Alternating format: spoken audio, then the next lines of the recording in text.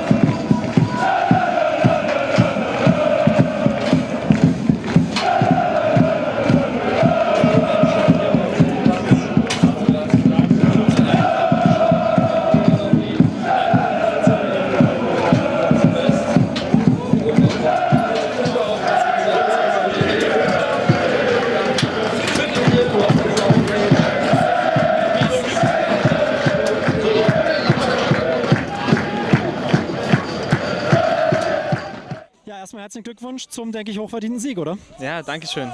Ähm, das war definitiv verdient. Ähm, wir haben jetzt zwar nur 1-0 gewonnen, hatten aber viel mehr Möglichkeiten und hätten das auch noch äh, rausspielen können. Dann hätten wir, glaube ich, hinten raus ein bisschen mehr Ruhe gehabt im Spiel. Aber ansonsten ein verdientes Spiel. Verdienter Sieg. Ähm, ich glaube, so Geduld war heute auch so ein bisschen euer Rezept, oder? Ja, also wir dürfen uns da jetzt nicht ähm, aus der Ruhe bringen lassen, wenn wir zum Beispiel in der ersten Halbzeit kein Tor machen. Ähm, wir haben, wie gesagt, tolles Spiel gemacht und da muss man einfach dranbleiben. Und irgendwann ging das Ding ja auch rein dann. Ne? Also wir hatten auch gute Chancen in der ersten Halbzeit, wie zum Beispiel Albi mit dem äh, Lattentreffer da. Und wenn er nicht reingeht, dann halt in der zweiten Halbzeit einfach weitermachen. Ich sag mal, es ist in der Pause gar nicht so einfach. Man hat so die großen Chancen und ähm, dann da jetzt konzentriert weiterzuspielen, oder? Ja, ich glaube, wir sollen uns davon nicht entmutigen lassen, sondern das gleich als, gerade als Motivation nehmen, ne? dass wir gute Chancen rausgespielt haben und dann einfach weitermachen. Weitere rausspielen und irgendwann geht einer rein. So letzte Viertelstunde hat Dreieich dann doch ziemlich gedrückt. Ja, die haben alles da vorne geschmissen, was sie konnten. Ne? 1-0 und dann mit Glück machen die vielleicht mal ein 1-1 oder so. Deswegen alles da vorne geschmissen, was sie konnten. Viele lange Bälle gespielt. Es ist auch äh, schwierig und ekelhaft zu verteidigen, aber wir haben das ganz gut gemacht. Ja, weil du hattest ja einen sehr unangenehmen Gegenspieler, glaube ich, ne? Ja, ich hatte auch sehr viele hohe Bälle, aber naja, äh, wurde dann auch äh, ausgewechselt, damit da wieder neue Kraft reinkommt. Aber ja, wir haben das ganz ordentlich gemacht. Gut. Alles klar. Bist endlich mal bei einem Sieg bei mir, ne? Ja, sonst äh, bin ich immer nur bei negativen Momenten hier. Also freut mich natürlich, dass, ich, äh, dass wir heute den Sieg geholt haben. Ich denke, von Anfang an gab es keinen Zweifel, dass wir das Ding gewinnen werden. Wir haben es auch in der ersten Halbzeit gut gemacht. Leider ein bisschen Pech gehabt, dass der Lattentreffer nicht reingeht und äh, wir haben, glaube ich, sehr, sehr wenig zugelassen. Ich glaube, ich kann mich nur erinnern, dass halt der eine Freistoß zum Schluss nochmal gefährlich war, aber sonst äh, haben wir das auch sehr gut verteidigt und ähm, es war eigentlich nur die Frage der Zeit, bis endlich das Tor fällt. Also hat es endlich mal geklappt, die Konzentration quasi mal ja, fast 90 Minuten hochzuhalten, oder? Ja, das versuchen wir ja immer, aber heute denke ich, hat das sehr gut geklappt. Wir haben äh, sehr gut gegen den Ball gearbeitet auch und äh, wir haben es dem Gegner einfach unheimlich schwer getan, dass, der, dass er sich äh, Torchancen herausarbeiten konnte und ähm, ich denke, wir gehen auf jeden Fall verdient heute als Sieger vom Platz. Streich hat jetzt vor allem in der ersten Halbzeit sehr, sehr defensiv gestanden. Äh, da ist es nicht einfach, die Lücke zu finden, oder? Nee, ist es nicht, aber äh, wie gesagt, das, war, uns war schon klar, dass wir unsere Chancen bekommen. Und ähm, wenn nicht in der ersten Halbzeit, dann in der zweiten Halbzeit und so war es ja auch. Und im Endeffekt hätten wir jetzt am Ende noch ein paar Situationen besser ausspielen können. Einmal, wo der Jake versucht, noch quer zu legen. Daher denke ich mal, hätten wir schon das Ding schon früher klar machen können. Jetzt äh, geht es ja mit dem nächsten richtigen Derby sozusagen weiter nächste Woche. Ja, jetzt haben wir schon mal äh, vorschnuppern können, was los ist, wenn man das Ding gewinnt hier. Und äh, wir hoffen natürlich, dass es nächste Woche genauso ist. Jake! Jake! Sorry, pardon, pardon, dass er uns nicht wegläuft. Ja, ähm, also sorry, ähm, FSV ähm, nehmen wir auch voll ernst, ne? Ja, auf jeden Fall. Wir wollen den nächsten Heimsieg haben und äh, Derby 10 Uhr Siege.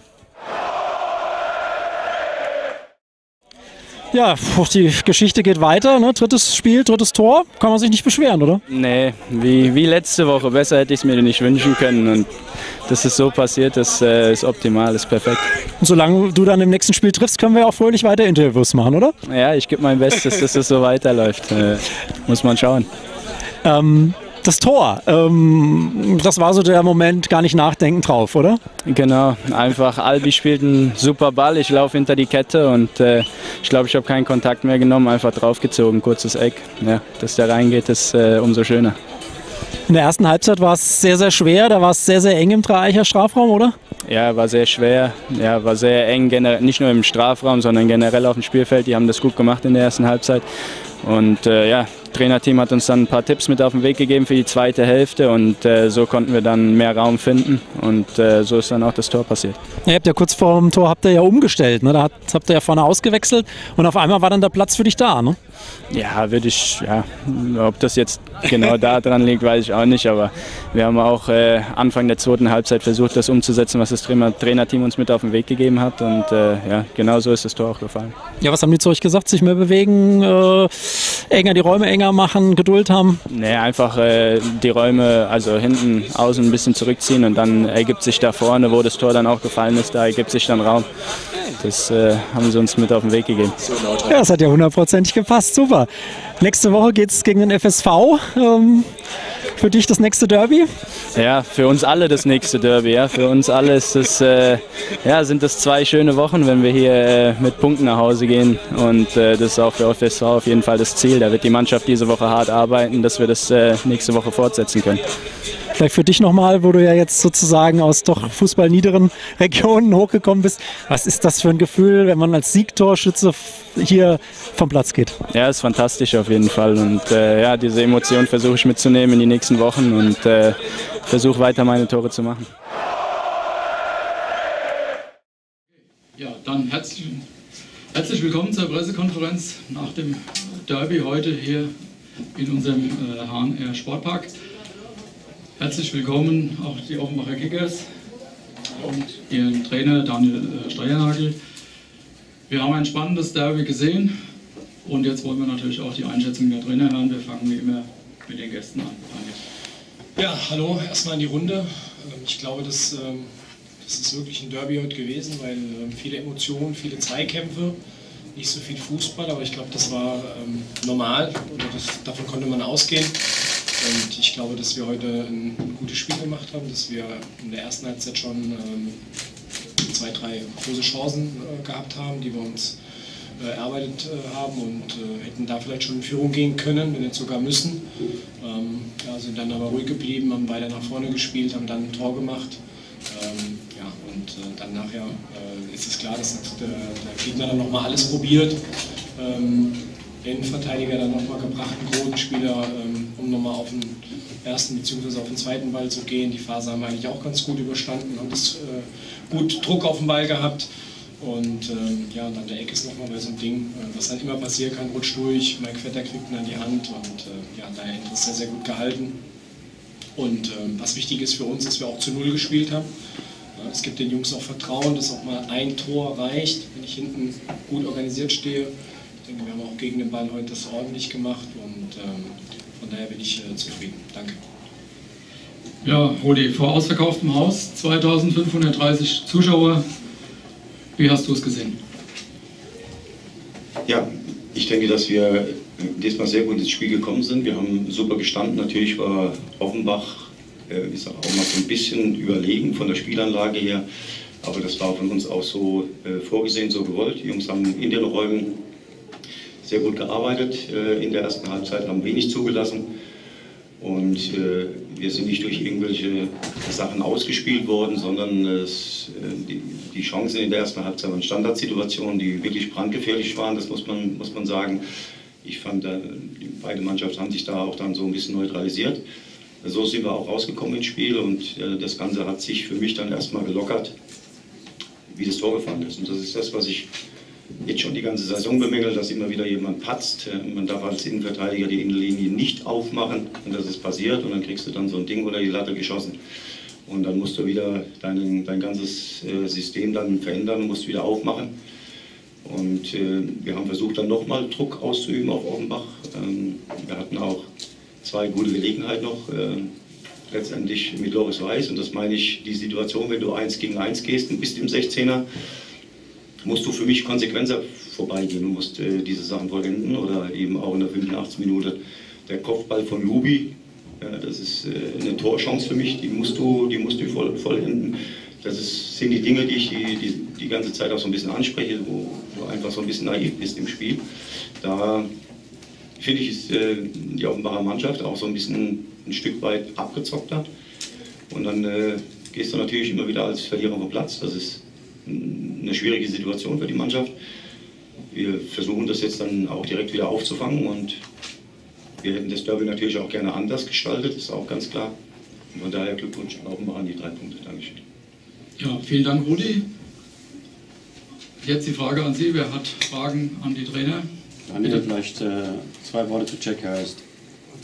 Wir haben ein Mikro, Augenblick. Also wenn es zwei Worte... Oder auch drei Worte zu Jack Hurst. Okay, drei Worte, super, gut. Gemacht. Exzellent. Ja, hast du damit gerechnet, dass der so früh, so schnell aus der 8. Liga... Ja, man hat das sofort gesehen. Ich denke bei der ersten Einheit schon, ähm, also wenn ein Spieler aus der 8. Liga denk, äh, kommt, dann äh, denkt man, der ist unfit. Erste, erste Einheit, glaube ich, von ihm war, also man Feldberg hochgelaufen und er war sofort vorne. Man sieht auch, wie er Bälle behaupten kann und ähm, er bringt unheimlich viel mit, weil er ist nicht nur schnell, sondern er ist auch ausdauernd. Und äh, wenn ich die beiden Komponenten habe, das ist schon sehr, sehr gut. Darüber hinaus äh, ja, hat er auch noch einen Abschluss, ist technisch gut. Und ähm, klar, es ist irgendwo ein Märchen, aber es ist jetzt auch für mich nicht überraschend, dass es so gekommen ist. Wir haben am Anfang wirklich überlegt, ähm, gerade nach dem ersten Spiel, was nicht so gut war, dass wir den Jungen auch nicht ver äh, verbrennen wollen, genauso mit dem Luka Garic. Also das hat sich schon angedeutet und von daher bin ich eigentlich auch nicht überrascht über seine Leistung. Ja, gibt es weitere Fragen aus Ihrem Kreis? Das ist scheinbar nicht der Fall. Dann gilt es für uns als SC Hessen 3 Eich Dankeschön zu sagen an wirklich besondere äh, Offenbarer Fans, die heute hier sehr friedlich, freundschaftlich und auch nachbarschaftlich unterwegs waren. Und wir wünschen allen einen guten Heimweg. Vielen, vielen Dank.